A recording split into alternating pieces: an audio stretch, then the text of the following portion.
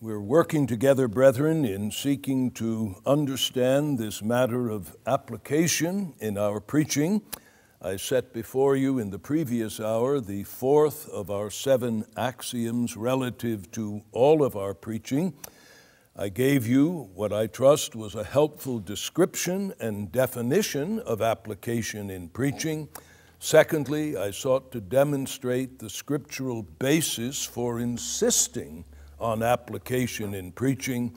And now we come to our third heading some guidelines for the cultivation of aptitude in application.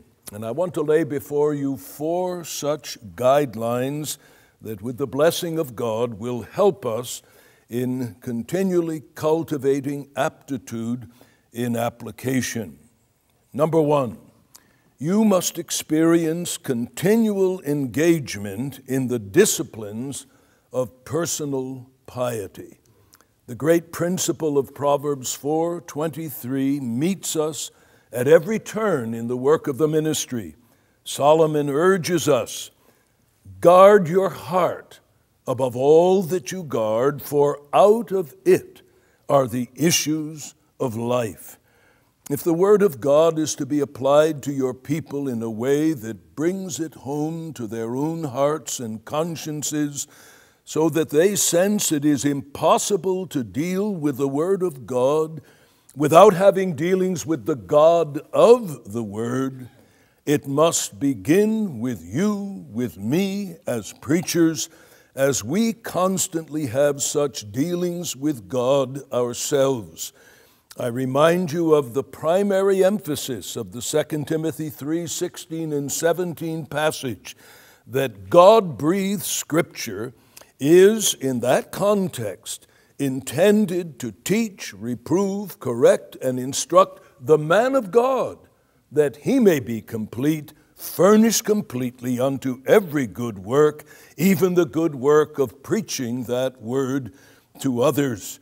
So we come back again to that rule that we confront again and again in any biblical view of the work of the ministry that true preaching will rise no higher than the life of the preacher, or as it is expressed in the oft repeated words, the life of a minister is the life of his ministry. Or as Dabney frequently states it, eminent Christian character is the foundation of a preacher's power unless the preacher is one of those who's going to join the many who will say, Lord, Lord, did we not prophesy in your name, cast out demons in your name? To whom he will say, Depart from me, you workers of iniquity, I never knew you. Unless we put ourselves in that category, the secret of our power in preaching begins with our own heart's dealings with God. When you begin to decline in consistent, warm, heart searching, soul ravishing dealings with God and His Word in secret, one of the first ways it will manifest itself in your preaching is in the applicatory dimension. It won't show up, first of all, in doctrinal declension, it will show up in weakness in the applicatory dimension of preaching. I love that passage in Isaiah concerning the servant of the Lord, of whom it is said, The Lord God has given me the tongue of them that are taught, that I may know how to sustain with words him that is weary. He wakens morning by morning, he wakens my ear to hear as they that are taught. The Lord has opened my ear. It was our Savior's open ear that dictated what came out of his open mouth. Or the words of Jeremiah in Jeremiah 15 and verse 16 Thy words were found. And then he says, Not I exegeted them or I passed them on to others, thy words were found and I did eat them, and thy words were unto me a joy and the rejoicing of my heart. So then, my brethren, you and I must wage ruthless and relentless warfare to maintain the vigor of the exercises of personal piety, secret prayer, secret meditation, and reflection upon the Word of God. It's humbling to me to look back and realize that my greatest struggle when God laid hold of me at age 18 is my greatest struggle 56 years later. When I got up this morning, the issue was there before me again. Are you going to go up in that study and have dealings with God as a Christian man? Or are you going to rationalize and say, well, God knows I have all these lectures and I must be. Yes, God knows. God knows very well that that's the kind of rationalizing that begins the erosion of the inner life. I have no warrant from God to suspend the disciplines of the cultivation of the inner man because I've got 13 lectures. Because next week there'll be this, and the following week that, and the following week another. And we can have a string of excuses, brethren. But if we are to maintain freshness and effectiveness in applicatory preaching, we must continually engage in the disciplines of personal piety. Listen to Bridges, who understood this and expressed it well. We need scarcely remark that this interesting style of preaching, he's talking about applicatory preaching, presupposes a personal acquaintance with these exercises and an individual interest in their privileges. It is experience alone that qualifies the minister for usefulness by enabling him to touch the tender strings of the heart and to suit his instruction to the different cases, trials, and circumstances of his people. When he has, as Witsius beautifully observes, not only heard something, but seen and handled and tasted of the word of life, and has been taught, not by mere speculation, but by actual experience, what he has thus found out, he safely inculcates from the assured persuasion of his mind and applies to every case from his own knowledge of what is suitable to each. He must therefore expect his full portion of painful exercises, not only for his own humiliation, a most needful preparation for his success, but also, like his divine master, and then he quotes from Isaiah 50, to give him the tongue of the learned, that he may know how to speak a word in season to him that is weary. His taste of the innumerable trials, fears, complaints, and temptations of private Christians will alone enable him to prescribe the specific remedy for each varying complaint and to exercise the sympathy of membership with them all. I always tremble when I hear a young man say, Well, I, I have a sense that uh, God is preparing me for a larger ministry. I say to myself, You young fool, you're asking God to throw you into the tumbler. You're asking God to bring you into baptisms of trial and testing because, to the extent that we are able, to say, Here I proved God's grace to me in this trial and in that trial, we are able to apply the Word of God with power to the hearts of our hearers. Again, listen to Murphy.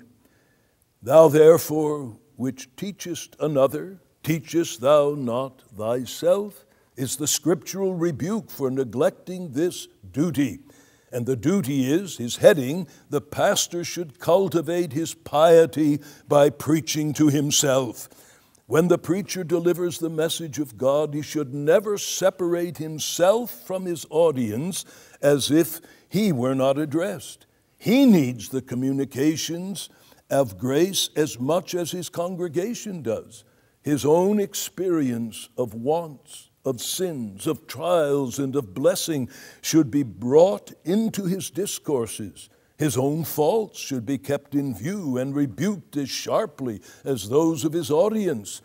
Diligently should he listen for the voice of God as addressed to his own particular case, and then reiterate that voice from the sacred desk. This rule, given by another, should ever be his guide. Quote, in your preparations for the pulpit, endeavor to derive from the subject on which you are about to preach that spiritual benefit you wish your hearers to receive. And he goes on expanding upon that and then concludes by saying, Then, if his discourses arise out of his own experience and are shaped so as to meet his own wants, they will assuredly also be applicable to the great body of his Christian people. So, if we would cultivate increasing measures of usefulness and skill in application, here is the first requirement continual engagement in the disciplines of personal piety. But secondly, you and I must experience continuous engagement in the disciplines of pastoral intimacy.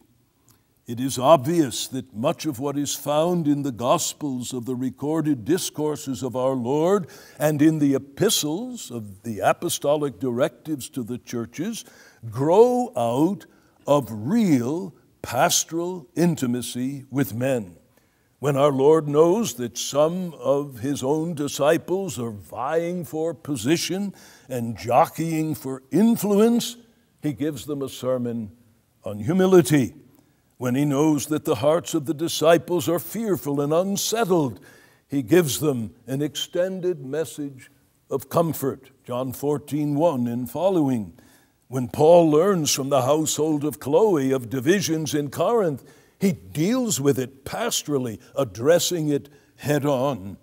His awareness of Timothy's temperament, even his physical constitution, gives shape and ethos to his letters to his son in the faith called Timothy. And so it must be with us. If the truth expounded is to find its mark in applications which are presently relevant, you must know, you must have some sense of the state of your people. If they are confused, discouraged, if they are indifferent, presumptuous, tempted, distracted, you and I must seek to get under their skin and behind their eyeballs, and then give our applications in terms of what we know of their real needs. When you're engaging in the disciplines of pastoral intimacy, you'll carry your people with you to the study and to your desk.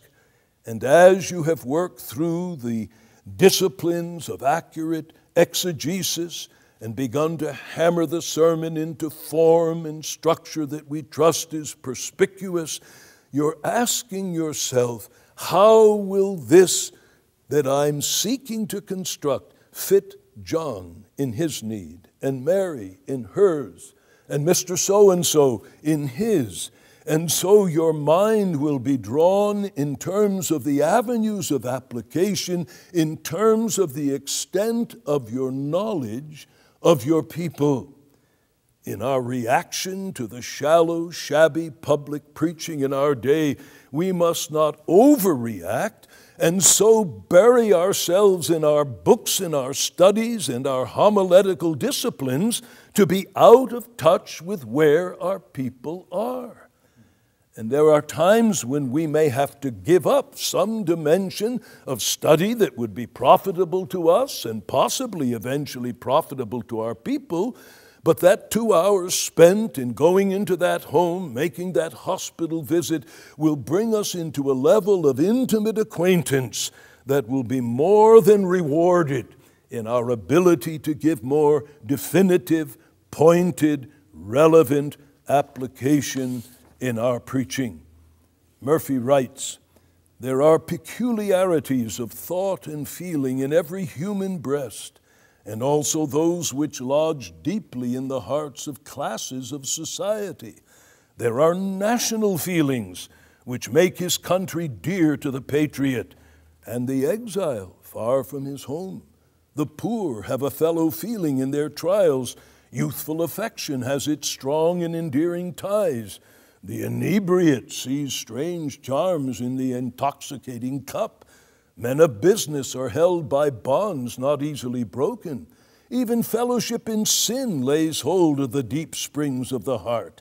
It would be the preacher's wisdom to try to understand these feelings, to get near to them, to sympathize with them, and to use them in his efforts to bring the truth home to the conscience. He should put himself in the place of those to whom he preaches and get his heart to beat in unison with theirs and thus influence them by the motives of the gospel. And then he goes on in that entire next page to amplify that direction. Then he closes by saying something that I wish were true, and it may have been true in his day. He says, Such preachers, and only such, will be certainly efficacious in such preaching as necessary to the filling of the churches. Were such preaching universal in our time, not only would our churches be filled to overflowing, but thousands would have to be built. For you may depend upon it, there's never a man who preaches intelligent truth and preaches it with a living sympathy with men that people do not flock to hear. I believe to bind your conscience to a statement like that would be cruel. We live in a day of apostasy. The light that has been in us as a nation has become horrible darkness. I'm convinced that in other days, some of you men would be busting down walls because of the kind of preaching you give your handful of people week after week, month after month. But the fact that we live in barren days does not change what our task is. We are still to give ourselves to it as though we were preaching to hundreds or even to thousands. And if we're going to have applicatory preaching that touches our people where they are, we must not only engage continually in the discipline of personal piety, but in the engagement of the discipline of pastoral intimacy. But then, thirdly, if we are to cultivate our ability to apply in a telling way, you must experience continuous engagement in the disciplines of intellectual industry. Preaching, in great measure, as I said yesterday, is an imitative art form. And you and I need to keep ourselves in touch with those who are and were masters of application, who cultivated the art of application in such a way that when we read them, there is a kind of spiritual contagion. And our minds are opened up as we follow the track of their minds and see how they applied. Books, tapes, living preaching. It's in this area, of course, that the Puritans are of peculiar help to us. They were masters of deep, varied, comprehensive, and searching application, both in the what we would call the more negative aspect, as well as in the consolatory and the comforting aspects of applying God's truth. And you have in your notes that article by Art Lindsay on the importance of application, and it focuses particularly on the benefit to be received in this area from the Puritans. And I urge you to read that uh, article in its entirety. I'll not quote from it, but I would especially recommend as you're thinking of what men can I go to to learn from them and absorb from them something of this art of application. Certainly, Matthew Henry, Brooks, Flavel, Spurgeon's sermons are masterful illustrations of, of deep pastoral application. He's able to take, as it were, the most timid sinner uh, by the hand and gently lead him to Christ. At other times, he's able to take the most hardened, insensitive sinner and put a bomb in his britches. And you see, sir, the, the tremendous uh, spectrum of Spurgeon's ability to do this. Richard Baxter, Calvin's commentaries. I mean, people have this misconception the Calvin of the Institutes is all they know. Read Calvin's weekly sermons. That's what his commentaries are. Someone took them down in shorthand. There are only, I think, three in the entire set that went to print as literature. The rest is recorded sermons. Imagine that guy that was able to sit there in shorthand and take that out. It was fascinating to me the first time I read of this by the man named Parker, uh, who's, got, uh, who's a real Calvin scholar. And uh, you see the practical applications again and again in Calvin. And then, of course, uh, I can't say enough about Matthew Henry, and I want to read to you a quote from my good friend Jack Seaton, who, in his little church magazine that he used to produce when he was the primary leader in the ministry up there in Inverness, this is what he says in this article about Matthew Henry. This exposition of the whole Bible, of course, was only part of his literary work in things spiritual, but it overshadows everything else he wrote. And now, Mr. Spurgeon seems to be saying, as he takes a deep breath at the commencement of recommending expositions in his first lecture in commenting and commentaries, quote, First among the mighty for general usefulness, Matthew Henry. Few would disagree with him. How often, when a passage has been exegeted in the study, expounded precisely to our minds, overlaid with all the science of hermeneutic and textual evidence, have we still lacked the one thing needful that clothing of the whole with warm flesh and blood. And we found it in the pages of Matthew Henry. And that's precisely what he intended his work to be. Quote, when the stone is rolled away from the well's mouth, he says, by a critical explication of the text, still there are those who would both drink themselves and water their flocks, but they complain that the well is deep and they have nothing to draw with. How then shall they come by this living water? So he explains some such may perhaps find a bucket here or water drawn to their hands, and pleased enough shall I be with this office of the Gibeonites to draw water for the congregation of the Lord out of these wells of salvation. End quote. That office has been well discharged as the testimony of generations of able men witness Isaac Watts, Philip Doddridge, John Ryland, William Romaine, Adam Clarke, Robert Hall would all gladly take their stand on that. Robert Hall's biographer relates how that eminent pastor, quote, for the last two years of his life, read daily two chapters of Matthew Henry, end quote. Whitefield read through the commentary four times and often on his knees while Spurgeon designates William Jay of Bath as, quote, Matthew Henry preaching, end quote. The great Mr. Henry, Whitefield called him, and all should want to add an amen to that. And then, of course, I must mention Jonathan Edwards. You've heard the statement.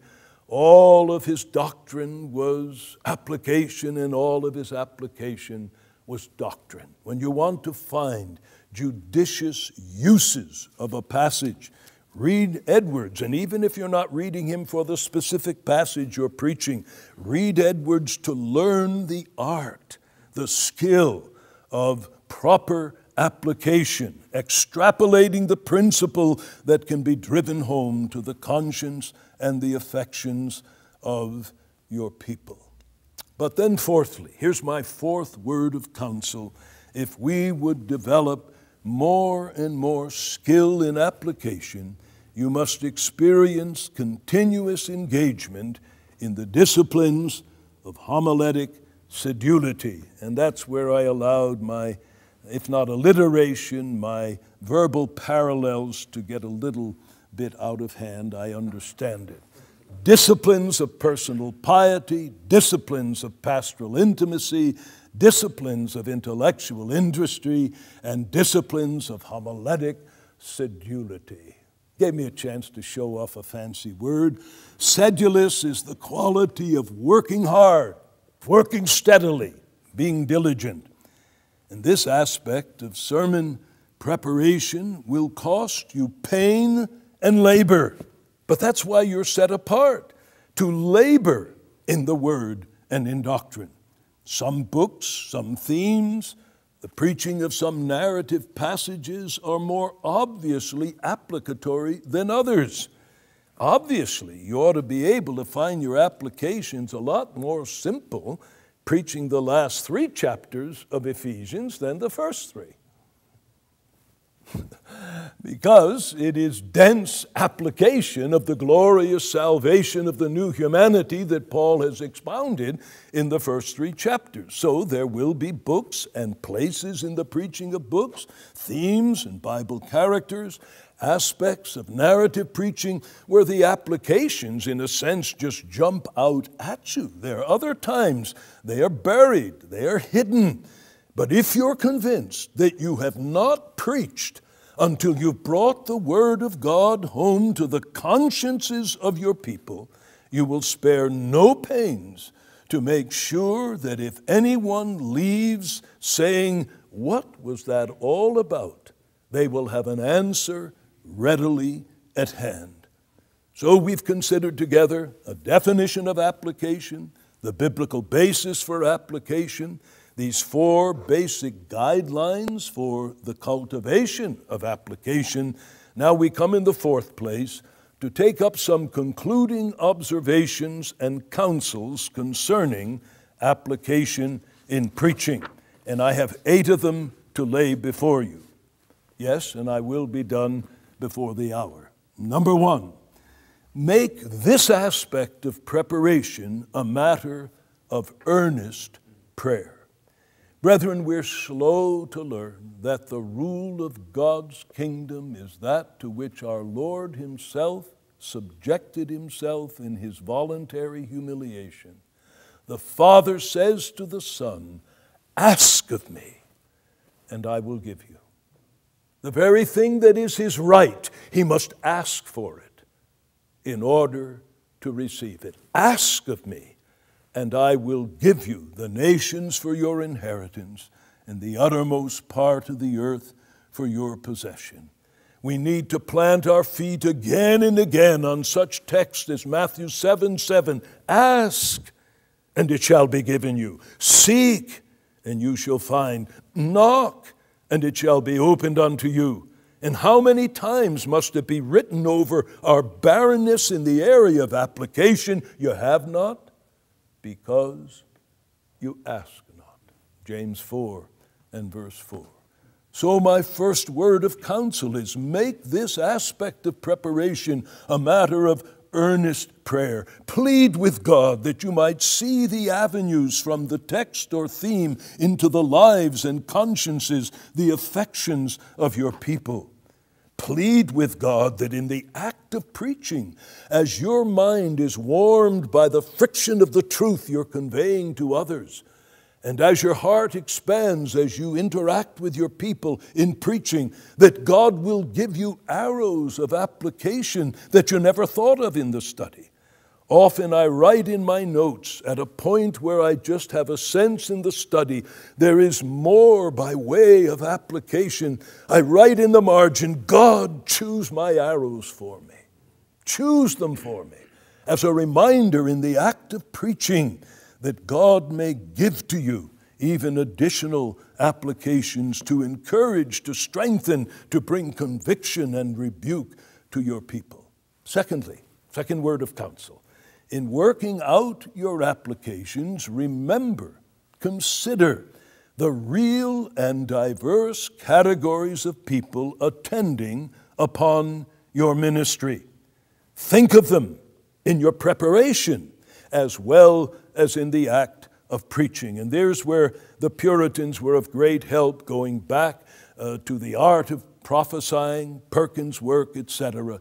Remember the three main divisions of mankind. To some degree, they are present in every service. There is the church and the world. the visible people of God and the non professing unconverted among you. Paul assumed in 1 Corinthians 14 that the uninstructed and the unconverted would appear in the assemblies of the people of God. Then there is the true and the false member of the church. Though charity may call them all what they profess, and that's why the apostle can address the epistles as though everyone in every church was the real deal, but he wasn't stupid. That's why he says to such people, Don't be deceived. He recognized that within churches addressed as the saints in Christ Jesus, there were some who were false members. And he urged them, Be not deceived. And you have that situation every time you stand before your people. And then, thirdly, there are the various stages of growth among the true people of God. You have babes, you have young men, you have old men, 1 John. You have the well instructed, you have the ignorant, you have those who are grieving the Spirit and their ability to receive truth is hindered, Hebrews 5, 1 Corinthians 3. John Owen said, There are many dangers to be avoided, that none who consider these things be troubled without cause or comforted without a just foundation. He was setting out the marks of the truly converted in relationship to dealing with sin. This is taken out of volume six. And so he said, Many dangers to be avoided, that none who consider these things be troubled without a cause. He recognized you have some sensitive souls. Anything searching upsets them. But there are others who are comforted without a just foundation.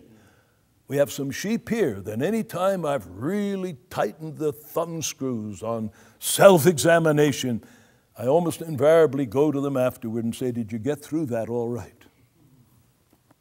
And it's a sign of growth that they can now properly deal with that kind of searching application without it disrupting them. But you want to make sure that you haven't disturbed them unnecessarily. Then remember, secondly, not only this threefold main division, but remember the distinct chronological divisions in the congregation. You have children.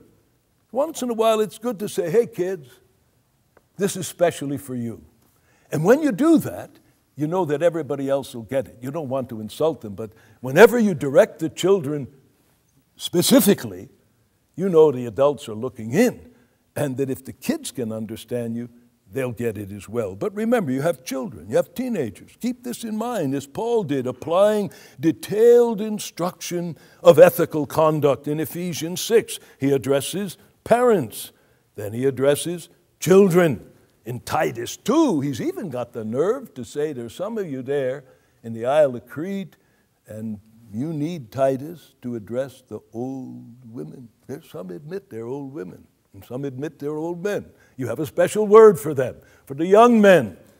And you need to recognize that in your ministry. You have the aged on the threshold of glory, young men filled with zeal and energy, middle aged, full of fears, as one stage is being sloughed off and another comes. Remember that in your preaching. And then, thirdly, remember the distinct occupational or vocational differences. Again, Paul recognizes that in his epistles. He addresses a word to masters, he addresses a word to slave, he addresses words to widows, to mothers, to the elderly, etc.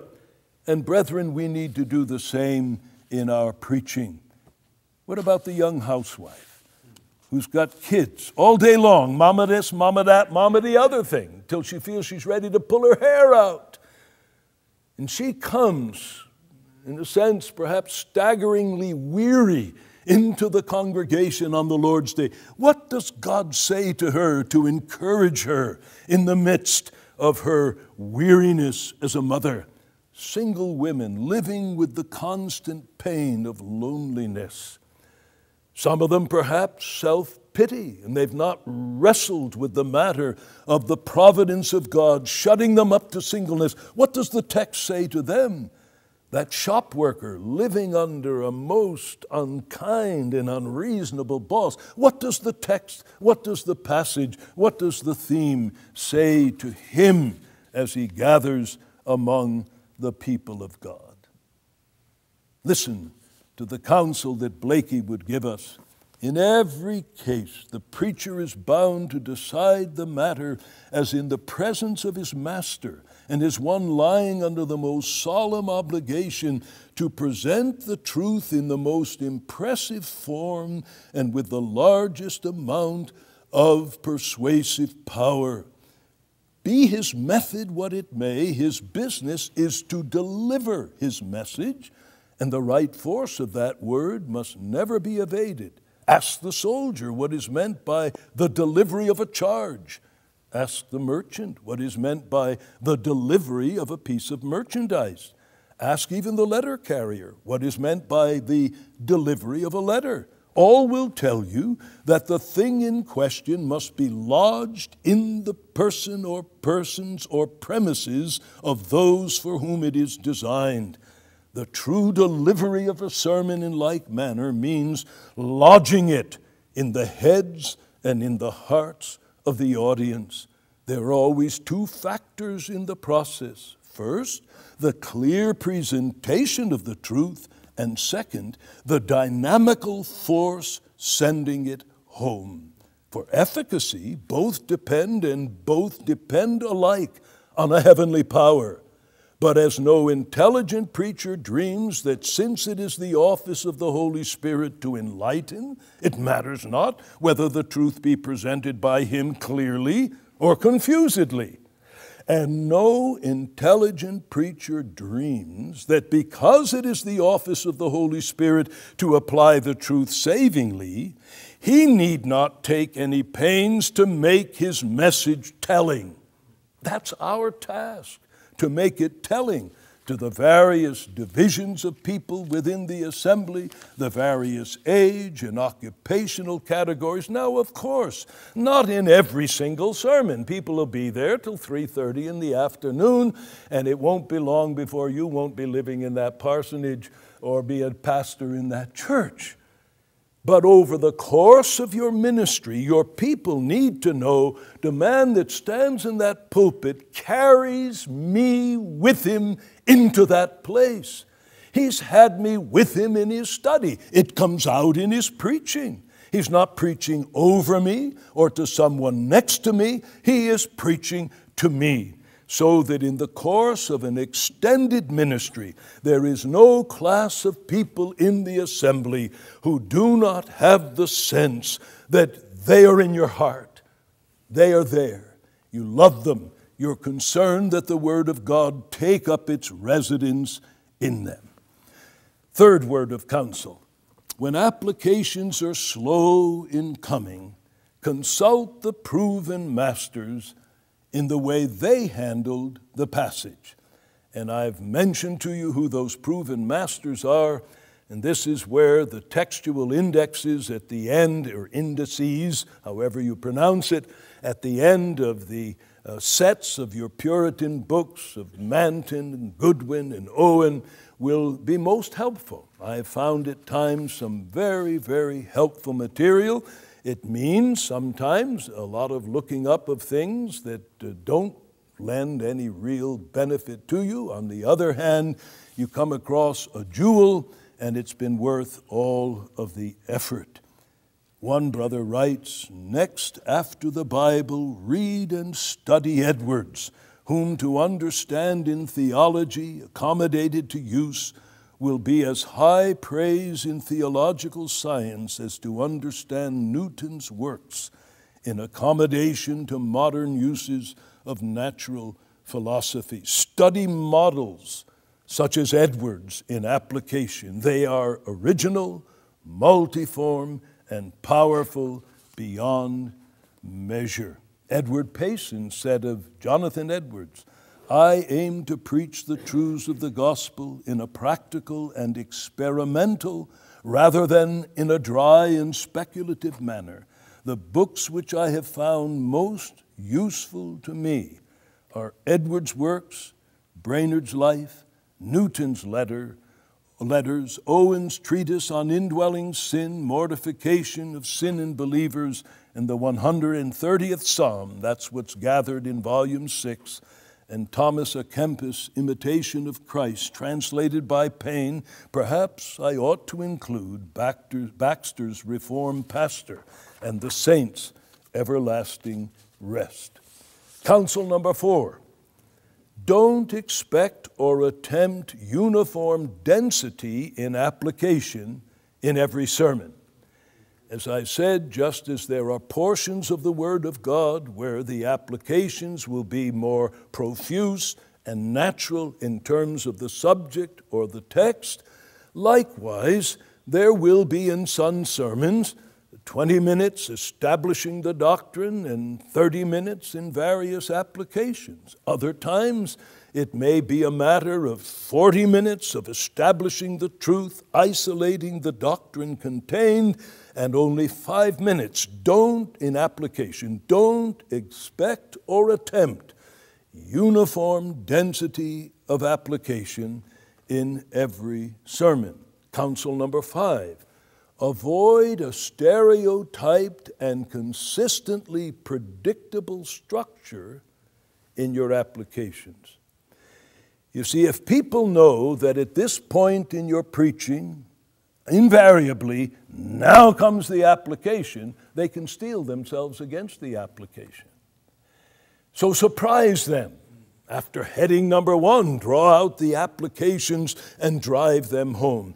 Avoid a, stereotyped and consistently predictable structure in your applications. Counsel number six make judicious use of searching questions in your applications. Judicious use of searching questions. And here, again, the Puritans were good examples. Listen to this sermon or the end of a sermon on the subject of justification from Traill's work. He brings these questions together in such a way that they just force honest, searching self reflection. And your eternal state is to be determined by these things. What are your heart thoughts of the law of God? What are your heart thoughts of the righteousness of Christ?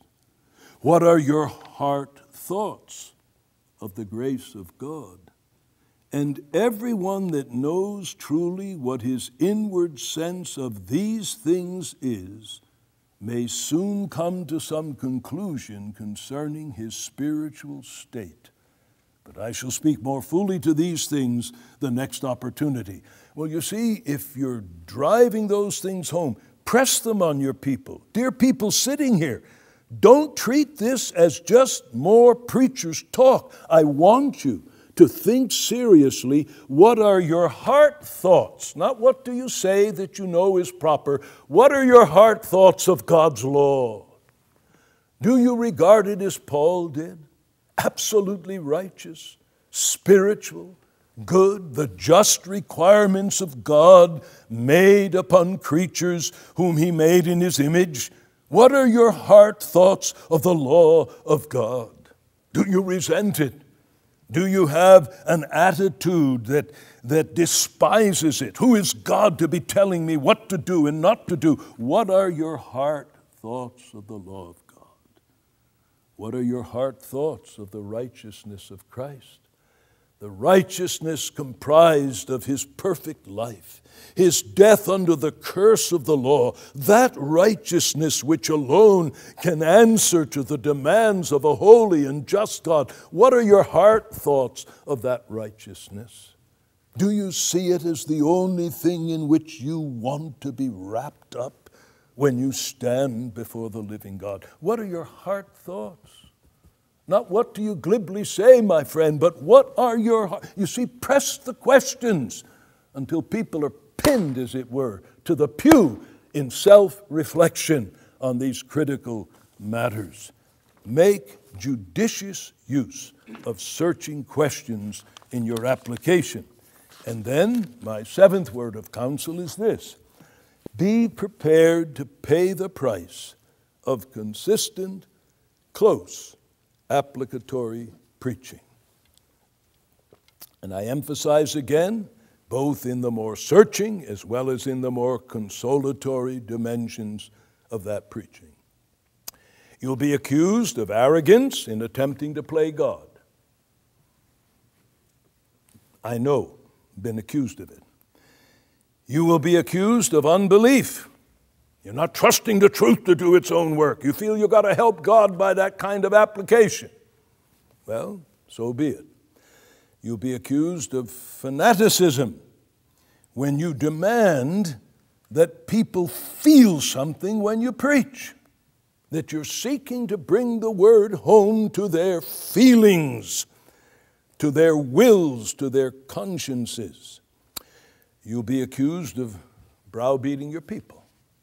I know, been there, had that accusation. But if before God, before God, you can say, Lord, I know that you alone can make the truth effectual in the heart.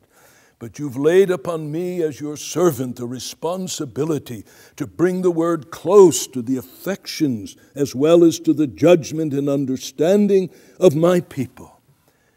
Those who are the true people of God over the years will come to appreciate you and thank God for you and when you can have saints that you've traveled with them for 40 plus years, as I have, look you in the eye and say, Pastor, we're going to miss you when you leave.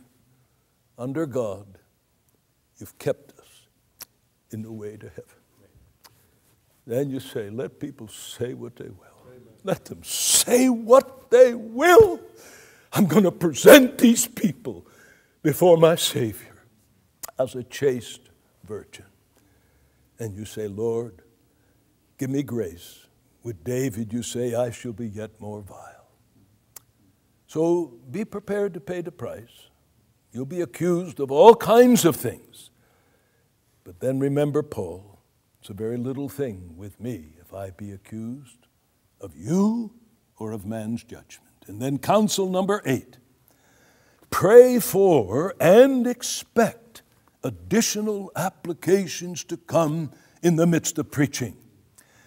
Now, if the Lord spares me and we continue these modules and I get into the section on the act of preaching itself, one of the points I will want to make is that there is a qualitative difference between what you carry out of your study in your manuscript, in your notes, in your outline, and what you should expect to happen in the act of preaching. And I will try to demonstrate biblically and experientially why I take that position. But growing out of that is this counsel with regard to application. Pray for and expect additional applications to come in the midst of preaching. When you're looking into the eyes of your people and you see a given individual that you didn't think of their need in the study, but you know what some of those needs are. You couldn't carry all of the needs of all of the people in the full extent of your knowledge of them, but in the act of preaching, you see their eyes and, and their spirit is reaching out to receive what Christ is giving them through you. And there on your feet, you see an avenue from the text or the theme that is answering exactly to their need. Well, you see, if you're not coming into the pulpit praying for and expecting additional applications to come in the midst of preaching, you will be tempted to quench the Spirit and to push that thing aside and say, well, no, that, that, that's, that's not in my notes. I, I can't trust myself to freewheel it and to wing it. No. Those are dimensions of the Spirit's operation, and you are God's servant. I have here in my notes to tell of an incident that happened years ago along this line.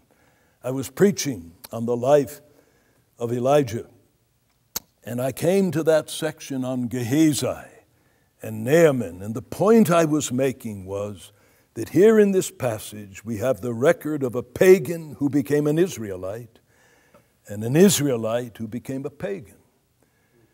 For that period of time at least, Gehazi acts like a pagan.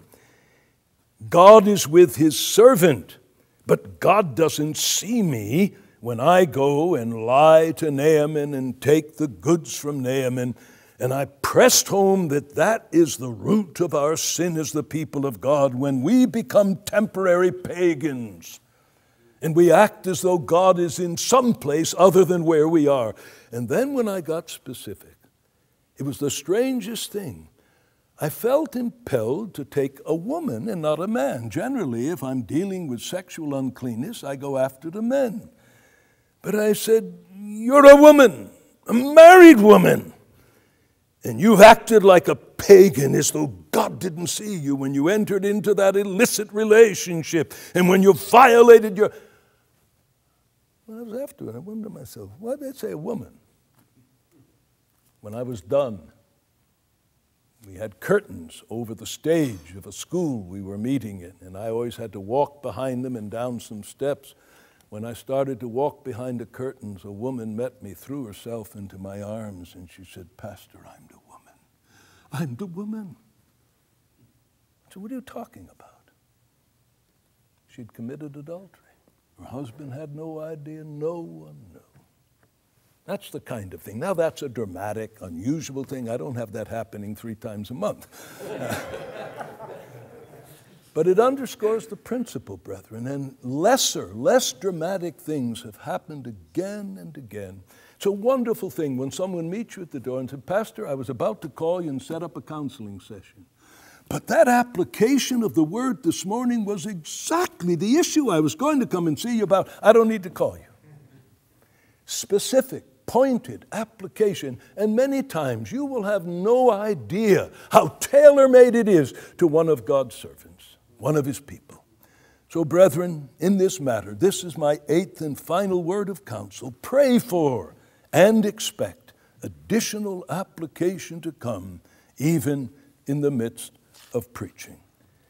And I have to confess that in the midst of so many pressures and responsibilities in these days, I've taught and preached myself under conviction that I've allowed this area of application to slide somewhat.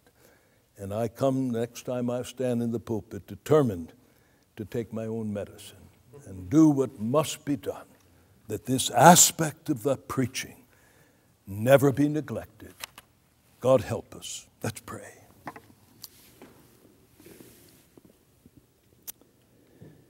Our Father, we're so thankful that we have your word as a lamp unto our feet and a light to our pathway.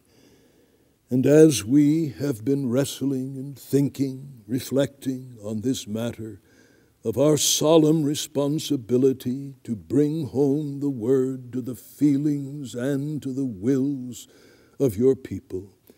We pray you would forgive us where we have failed, where we have not been willing to do the head work and the heart work necessary. Give us help, we pray, that your word will indeed come home closely and powerfully to the hearts of all of our people, week by week, month by month, year by year that we may help your true people on their way to heaven, and that we may be used of you to call out your elect. O God, we know that we live in a day of small things, a day when, in great measure, all around us, you are giving men over to their sins, and there is apostasy in the church, and there is frightening moral declension in society. But our God, we know that our task does not change, and so we cry to you.